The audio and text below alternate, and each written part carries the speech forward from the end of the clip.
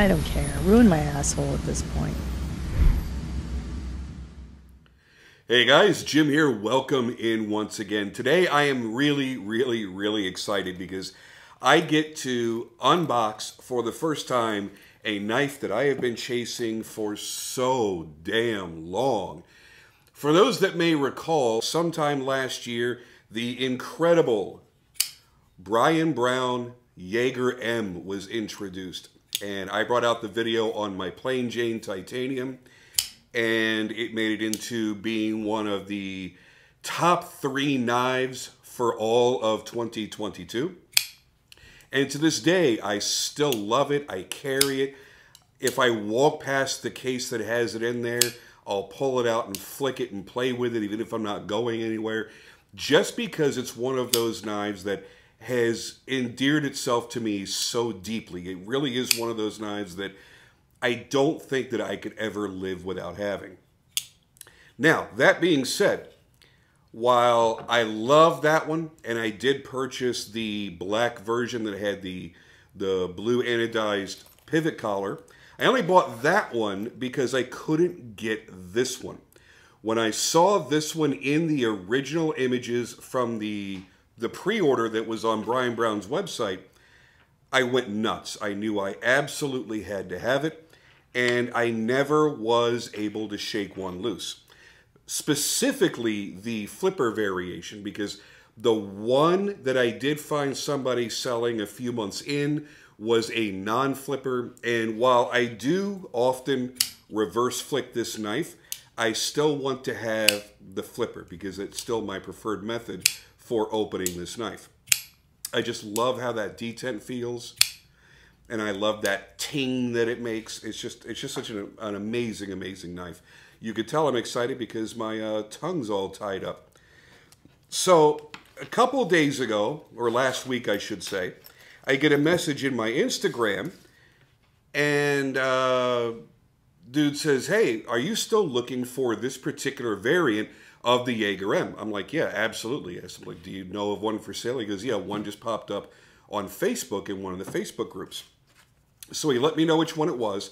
And luckily, it was a group that I was a part of. And even more amazingly, it was actually a buddy of mine that was selling this. His name is Michael.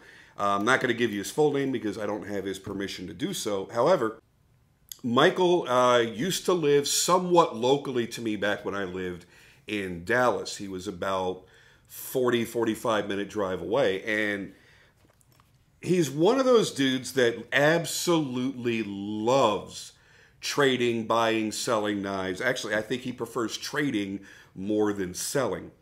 Anyway, uh, he goes through a lot of knives, a lot of knives, really, really great knives from uh, production to mid-tech to custom, everything in between. And when I saw that it was him selling it, it actually made me a lot happier because I knew what I would be getting would be in flawless condition. It would be like a brand new knife. It would be well cared for. And I wouldn't have to pay a stupid amount of money. The price that he had on it in the midst of his huge sale of many, many knives really wasn't that bad. But I still, I still asked him to come down just a couple of bucks. I think like 20 bucks. Just so I felt like I was getting a little bit of a bro deal or whatever. And uh, so I didn't try to beat him up on it, and he certainly didn't beat, me up on it. Michael's a really, really phenomenal person. Uh, he actually has helped me do stuff around my shop uh, a couple of times. The last time was he actually helped me pack up stuff and make the uh, the move when I was moving all the way out here to the East Coast. So when I saw his name on the post, I was so happy because one of the last things that uh, that I did when I saw him right before I moved was I sold him one of my knives, maybe a month or two before I had moved. And I've never had a chance to buy one from him. So this was my opportunity to purchase one directly from him. And oh, it feels so good.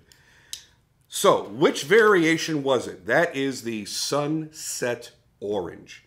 This is the knife that as soon as I saw it in the initial photography, I knew I had to have it. The one non-flipper that I could have gotten, I ended up not jumping on. And the next one that I saw somebody sell didn't have a lot of coloration in the carbon fiber. I think it had a lot of orange, but almost no yellow. and it just really wasn't a pattern that I was super happy with. So as I take a look at this, wow, that is gorgeous. This is the first inlaid version I've had of the Yeager M as well. At some point, I do probably want to find a Brittany Blue. So if you know anybody with a Brittany Blue, let me know, because I'll probably be up for it. All right, let's get down to the tabletop and get some close-up looks at this, and maybe you'll understand why I am as excited as I am. I am almost beside myself with joy right now. I really, really, really love how this thing looks, and it's a different kind of feel, too. Pretty fantastic. All right, let's go take a look at it.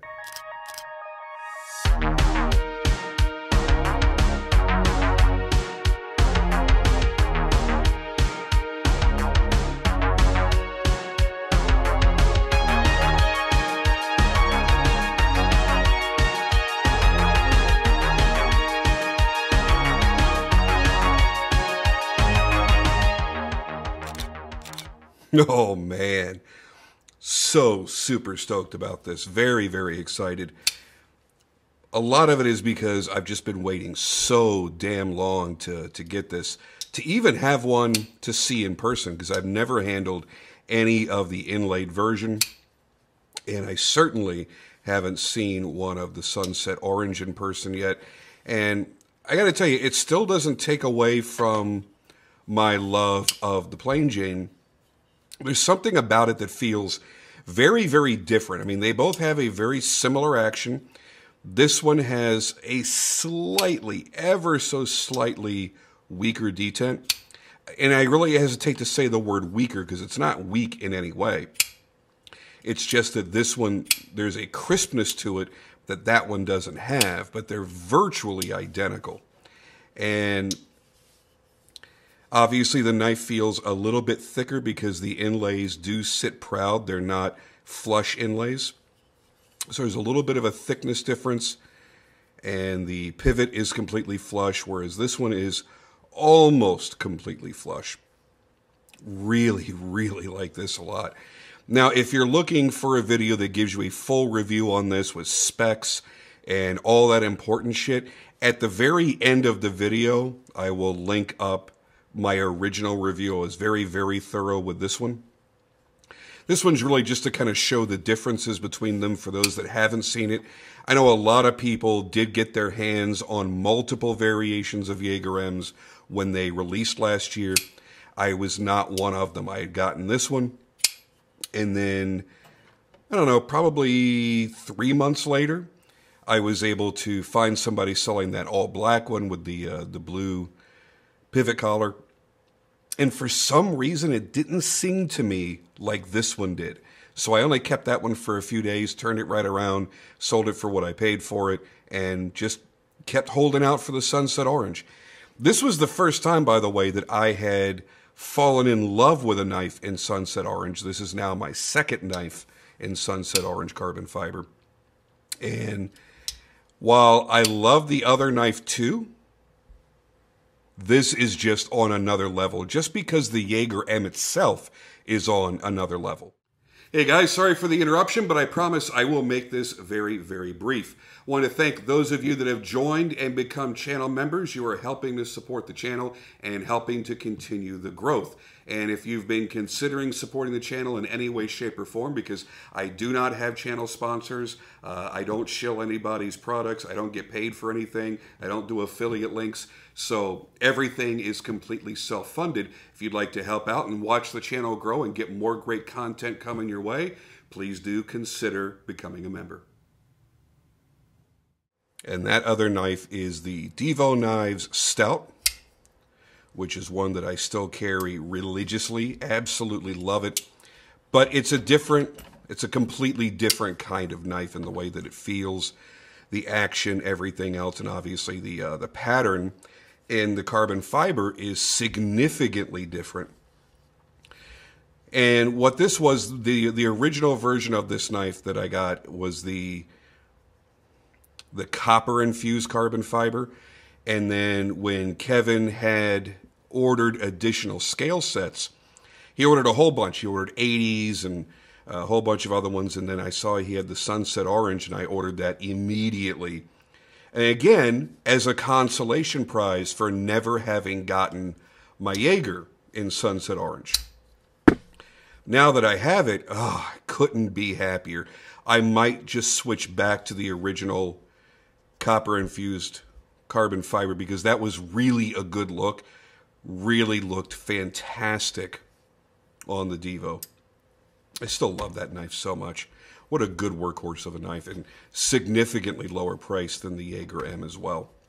So if I had to choose to keep only one of these right now, uh, I can't even say what that choice would be because I really am still madly in love with the Plain Jane full tie. And this was something that I had mentioned in, in a recent video that just because a knife is plain tie doesn't mean that it's a boring knife. Just the difference with the the radial satin finish in the pivot and pivot collar and the beautiful belt satin on that deep hollow grind on that M390 blade with the horizontal or hand rub satin on the flats. This knife was exciting enough to me just the way it is in bead blasted titanium. And that will probably always be a favorite in my collection. But now that I've got this, I think I'm going to put a lot of time into carrying this one over the next few weeks and see if it's a little bit smoother and see if it's going to be as beloved as my original Yeager. And uh, in anticipation, waiting for the mail carrier to arrive with this, I even uh, changed my watch to match the damn knife today. How ridiculous is that? It's not a perfect match, but at least it's got yellow in it. And this is the uh, the orange and yellow here in the carbon fiber. I'm really glad that it worked out the way that it did because if I had if I had bought the other one that I had seen, the pattern wasn't quite as nice. And like I said, I didn't see much of the the yellow orange in there. It had more of the darker orange, and then obviously the uh, the carbon fiber. But I really wanted that contrast of the the the lighter and the darker oranges. I really wanted to see that contrast. One thing I didn't realize, I guess I hadn't paid close enough attention to the pictures, was I didn't realize that it had the dark titanium clip and the dark titanium backspacer. Oh, I, I see a little nick there on the end of the clip. So a couple little marks, little carry marks. So he did carry it, but it's obviously not abused. A little snail, little snail trail back there. But in overall condition is fantastic. I couldn't be happier.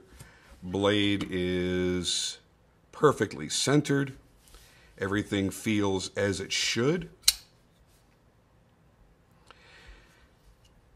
No blade play there. No blade play side to side. It is fan friggin' tastic, man could not be happier. I'm so glad to finally have this in the collection. What a great pair.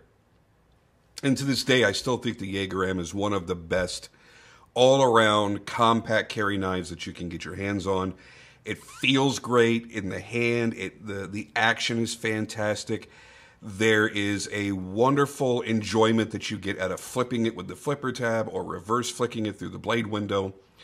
It's got a scary sharp edge, a nice deep, deep hollow grind. Very, very deep, and you see that usually when you uh, when you're looking right here. A little too close to my camera. Let's see if we can back it up a little bit here. What focus? Yeah, not so much. Oh well, I tried. Anyway, it comes down to a very, very thin edge. These are great performers. If you have yet to get yourself a Yeager M, what the hell are you waiting for? Don't even make excuses for why you shouldn't have one. You absolutely need to have a Yeager M if you like somewhat smaller knives. Because again, this is not a big giant knife. This is his medium size that he made into production. And as beautiful as the customs are, and as much as I've always wanted one, I am completely happy with the production version produced by Reate. There's something about the perfection that Reate does that I don't feel like I'm I'm missing anything by not spending two or three times the money to get into a custom. Doesn't mean I won't ever have one. I'm certainly going to try. But I feel very, very happy, very fortunate to have even just the uh, the production, and especially now that I have the uh, I want to say match set, but the the twin to it. Very handsome, very very cool knives, and something that performs really great in in every respect. So it really is one of those knives that I can't really pick apart. I've never really found a negative to it and I have carried this a lot since I got it last year. So if there was any flaw there that was going to bother me, it would have already stood out by now and it would have already become an issue, and it just hasn't. It's one that I reach for often. I have my own snail trails on there from from carrying it myself. It's just not a knife that I plan to ever abuse, so it'll always, hopefully, it will always look fairly close to new. What a dramatic pair. Love how that looks. Anyway, I just wanted to share that with you guys. Thank you for watching. As always, stay tuned in the next couple seconds here, and there'll be a card that pops up with the original full review of the uh, the plain Jane titanium variation. And any questions that you may have about it should be answered in that review. If not, please feel free to comment down below and shoot me a question. And if you have Yeager M's of your own, put in the comments down there which variation did you go for, or which variations if you have multiples. I'm very interested to hear how people how people chose because there were a couple that a couple inlay versions that really didn't do it for me. For me, it was definitely the Sunset Orange. Then right below that was the Brittany Blue, and then I was cool. I didn't really need any other ones after already having this one. So I think at some point I will continue my search for a Brittany Blue. And, and since things have cooled off on these a bit now, a year later, people aren't really selling them for crazy amounts of money. You're, you're pretty much going to get them for what they initially sold for and maybe even a few dollars less. So that's the good thing about letting letting the market cool a little bit on a hot hot item is you're not going to ridiculously overpay for it. And I think on these, if I if I was searching for the Brittany Blue, I think if I come across one, I'll probably be really close to where they were at their original price. And for me, that is completely fine. I think that these are an incredible value at the 400 range that they sell in, and I don't need to try to find one for 250 or 300 or anything like that. I can easily justify the full price on these because they're absolutely worth it. All right, with that, I'm out of here, and I'll see you on the next video.